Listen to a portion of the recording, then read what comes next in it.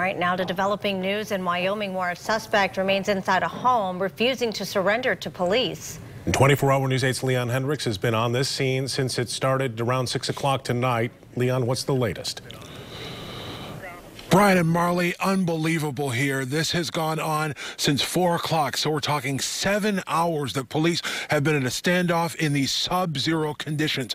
A bizarre ordeal here as this suspect has emerged repeatedly. In fact, a short time ago, he came out yelling at the police. Now, we're purposely not showing you exactly uh, what's going on. We don't want to reveal any tactical positions of the police as they are in active standoff mode. The SWAT team is surrounding this home as we speak. But I can tell you we've heard bangs, we've heard glass breaking, and police are clearly amping up the pressure on this man to come out.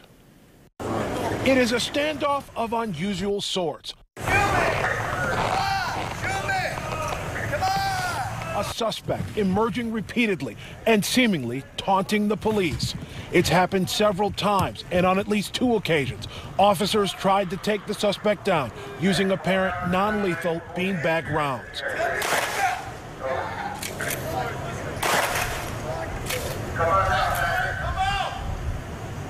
Police say a domestic violence call started all of this, a case that involved a suspect armed with a long gun. For police, it could hardly be more uncomfortable.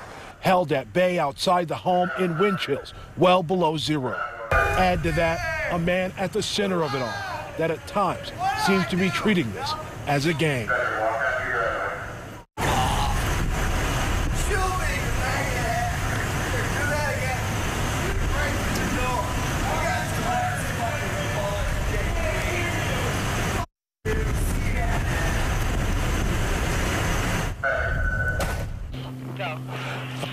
Now, because of this standoff situation, Burton Street is shut down between Clyde Park and Godfrey. They're not letting any traffic through here, so it's an area you'll definitely want to avoid. But police have certainly exercised a lot of patience here. Clearly, they want to bring this to as peaceful of an end as possible, and that effort continues tonight.